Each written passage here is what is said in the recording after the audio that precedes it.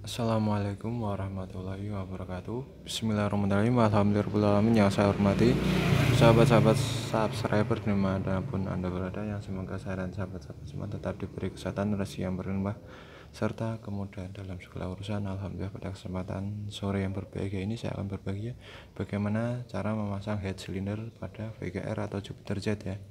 Itu hampir sama ya basicnya Jupiter sama VGR ya ini yang pertama yang harus anda perhatikan pada bagian sini harus benar-benar kering dari oli ya melingkar sini ya.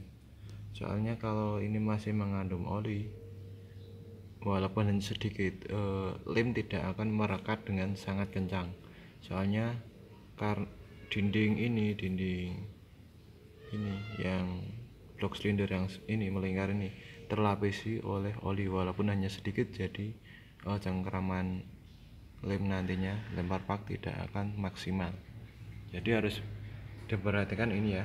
Dan juga lem pada eh permukaan pada head cylinder sini ya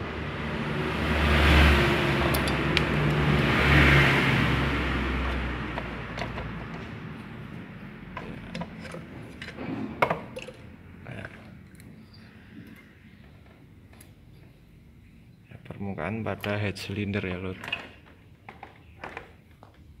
pastikan permukaan sini melingkar sini ya. Dan sini juga benar-benar kering tidak mengandung oli ya. Soalnya kalau terkena oli ini cengkraman lempar pak juga tidak akan maksimal dan takutnya kompresi bisa bocor. Kalau kompresi bocor lewat sini karena lemnya tidak merekat sempurna.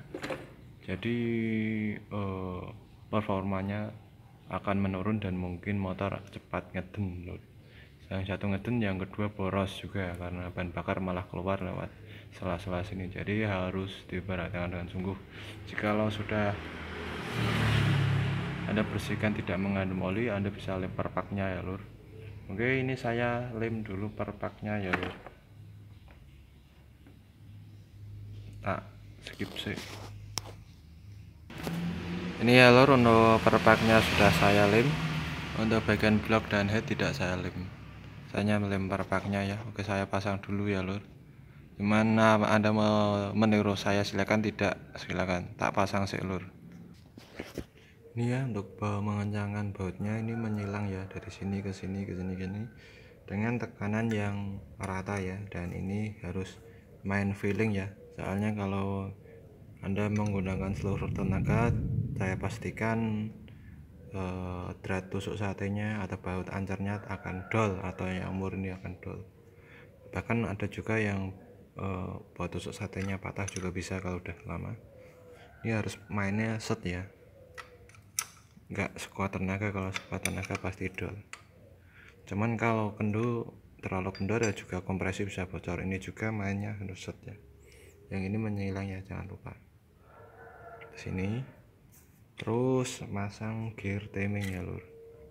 Jika anda terasa sulit ini tuh ada threadnya ya thread min yaitu anda bisa putar dengan obeng obeng min kecil lur. Tidak di obengku. Ya ini tuh bisa diobeng uh, kalau diputar ke kanan itu tonjokannya akan naik. Diputar ke, ke kanan sampai mentok tonjokannya akan naik naik. Jadi kalau tonjokannya naik ini kan enggak tertahan oleh tonjokan tensioner setelan tensioner ya. Jadi untuk memasang gear timingnya lebih mudah. Taman kalau ini posisi menekan gear timing ini masang gear timingnya uh, akan sulit. Soalnya ini harus benar-benar menonjok kalau seandainya ini rantai kampretnya atau rantai timingnya. Dulu ini bisa bunyi cak cak cak nah gitu gitu jadi emang ini untuk menekan agar tidak kocak atau mungkin tidak loncat. Soalnya kalau loncat di gear timing bisa klep bisa menghantam piston. Oke ini tak pasang dulu gear timingnya ya lur ini ya gear, gear timing sudah tak pasang ini harus paste ya ini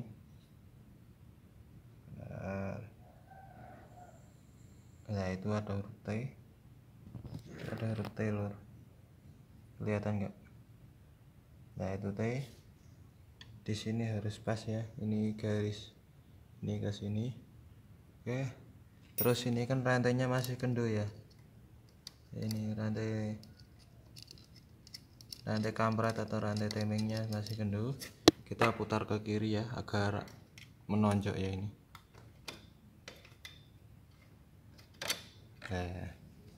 Ini sudah kencang lur. Jadi motor tidak mungkin kocak ya ini sudah nggak bisa naik ini rantai oke. Terus kita pasang ini ya.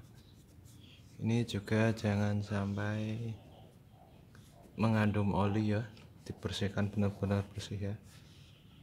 Agak soalnya oli juga muncrat dari sini.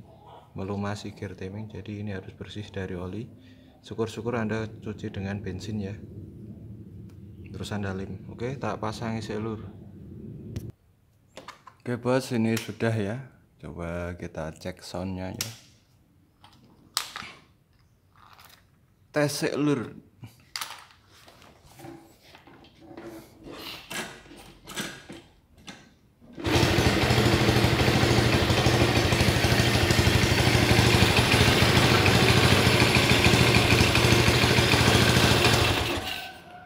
bisa ya lur. Tetap saya tetap semangat dan tetap sholat. Semangat sholat kita baik. Insya hidup kita lebih baik. Saya tidak hebat saya tidak kuat saya tidak pintar. Hebat kuat pintar hanya Allah lur. Sekian saya. Wassalamualaikum warahmatullahi wabarakatuh